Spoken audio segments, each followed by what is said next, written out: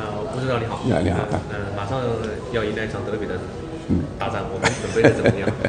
呃，大家都知道的，就是这是场非常重要的比赛，但是目前球队呃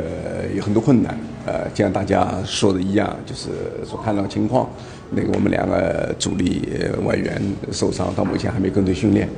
呃，那么另外呢，就是不同程度的呃也有一些呃伤病或者停赛。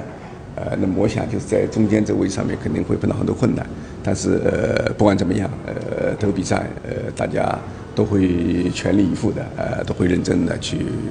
呃打好这场比赛。呃，有一些什么样的压力吗？因为德比，德比的这个比赛是去年我们在这里其实是踢得非常棒的，足协杯的决赛。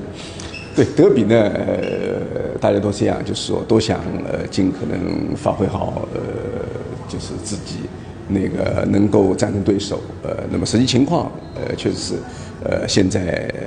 对我们来讲有一定困难，但是我们不是说，呃，对这个比赛就是说会放弃，但是我们会肯定会全力以赴，在现有的这些人员上面，呃，打出最好的水平，能够发挥的最好，也能够取得一个好的结果，是吧？嗯，吴指导，因为那个国庆的潍坊杯结束了，我看几个小队员也回来了，那么这场比赛我们人手上有些紧缺，会给他们一些呃。锻炼的机会，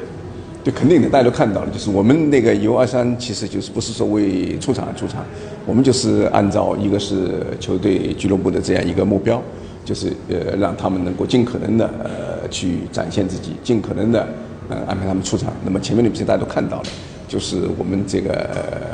国青球员都在场上那个踢了，所以说我们还会呃一如既往的今年会使用他们下去，是吧？嗯，好吧。谢谢吴指导，好，谢谢吴指导，好，好。